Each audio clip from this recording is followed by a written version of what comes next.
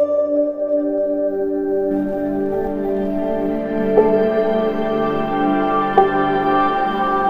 दोस्तों, आप सभी का स्वागत है मेरे YouTube channel Anju dot Ashu blog में। आज हमारे घर बनने जा रहा है इडली तो मैंने सोचा आप लोग के साथ उसकी रेसिपी शेयर कर देती हूँ। आज मैं इंस्टेंट इडली बना रही हूँ मतलब कि रवा की इडली बनाने जा रही हूँ। बहुत ही जल्दी बन जाता है। और ज़्यादा टिटीमा वाला काम नहीं है, बहुत मेहनत करने की ज़रूरत नहीं, जल्दी बन जाएगा ये। एक बर्तन में हमें सूजी लेना है। रवा की इडली बनाने के लिए सबसे पहले हमें सूजी चाहिए। सूजी हम थोड़ा दरदरा वाला लेंगे, ना एकदम बारीक लेंगे, ना एकदम दरदरा लेंगे। अच्छा मतलब मीडियम साइज़ लेंगे। वो जो मार्केट में मिलता है, समझ लो वही लेना है। एक कप मैंने सूजी ले रखा है। एक कप सूजी में हमें आधा कप दही लेना है। नॉर्मल रहेगी तभी चलेगा। ना खट्टी ज़्यादा चाहिए ना एकदम मीठी वाली चाहिए। नॉर्मल रहेगी तो चलेगा। इसको हम अच्छे से मिला लेते हैं। दही डालने के बाद अब हम इसमें आधा चम्मच नमक डालेंगे। अब इन तीनों को हम अच्छे से मिला लेंगे।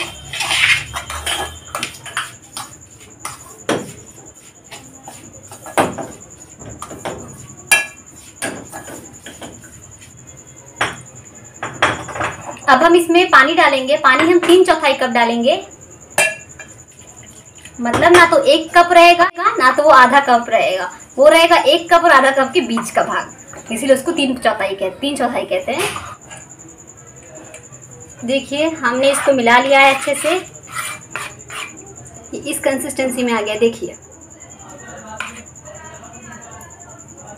इसी कंसिस्टेंसी में इसको छोड़ देना है हमको। या तो हमें पंद्रह मिनट के लिए कम से कम और ज़्यादा से ज़्यादा तीस मिनट के लिए इसको छोड़ देना है फर्मेंट होने के लिए, ताकि ये सूजी अच्छे से फूल जाए। तेल लगा लेंगे अच्छे से। ये सब किए रहेंगे तो हमें फटाफट बनाने में आसानी रहेगा, जल्दी जल्दी बन जाएगा वो।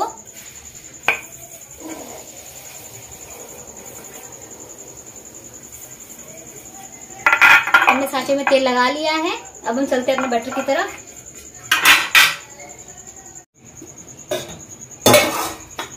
देखिए, हमारे बैटर को रखे हुए आधा घंटा हो गया, ये फर्मेंट हो चुका है। हम लोग अपने बैटर को चलाकर एक बार देख लेते हैं कैसा है ये। देखिए, इसकी कंसिस्टेंसी एकदम बराबर है। अब हम इसमें आधा चम्मच, छोटे चम्मच से इनो डाल देते हैं। मैं इसमें इनो मिला देती हूँ।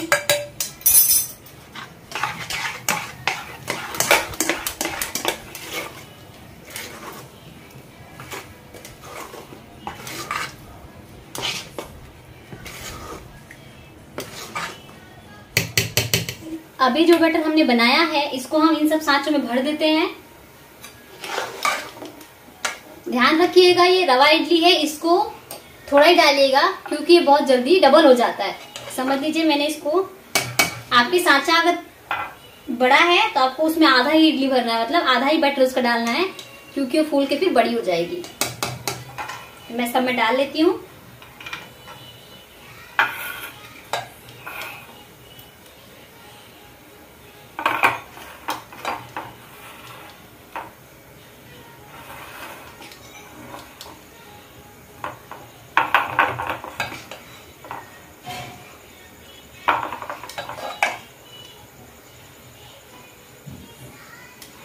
हम पहले ही इडली मेकर में दो ग्लास पानी डालकर उसको एक उबाल आने देंगे, ताकि इडली हमारी उसके भाप से पक सके। जब हमारे पानी में एक उबाल आ जाएगा, तब हम इडली के बैटर को इडली के मेक, इडली मेकर में डालकर उसको बनने रख देंगे और ढक्कन लगा देंगे। उसके बाद मीडियम आँच पर रखकर उसको 15 से 20 मिनट तक पकाएँगे। ज़्यादा से ज़्यादा हम आधे घंटे तक मीडियम आँच पर रख के पकाएँगे और बीच बीच में उसको चाकू से चेक करते रहेंगे, ताकि वो हमारा पका है या नहीं, वो हमें पता लग जाएगा। तो चलिए हम लोग अपनी इडली चेक कर लेते हैं, वो हो गई है कि नहीं, पक गई है नहीं। हमने ढक्कन उतार लिया है। आप ऐसे चाकू ले करके चेक कर सकते हैं कि हमारी इडली पूरी तरह से हो गई है या नहीं। देखिए, चाकू साफ़ निकलना चाहिए मतलब हमारी इडली अभी हुई नहीं है, अब इसको थोड़ा टाइम लगेगा और होने में। ऐसे एक दो बार आप चेक कर लोगे तो आपको पता चल जाएगा इडली पूरी तरह से हुई है या नहीं। देखिए, हमने इडली को कंटेनर से उसके निकाल दिया है। अब इसको कुछ देर ठंडा होने देंगे। इसके बाद अब हम इसको, जब ठंडा हो जाएगा, उसके बाद हम इसको मोल्ड से निकालेंगे इसके। ठंडा होने के बाद ही निकालिएगा इसको, नहीं तो है ना टूट टूट के निकलेगा वो। चलिए, हम लोग इसको अनमोल्ड करते हैं, इसको निकाल लेते हैं, अच्छे से ठंडा हो चुका है, इसको अब निकाल लेते हैं।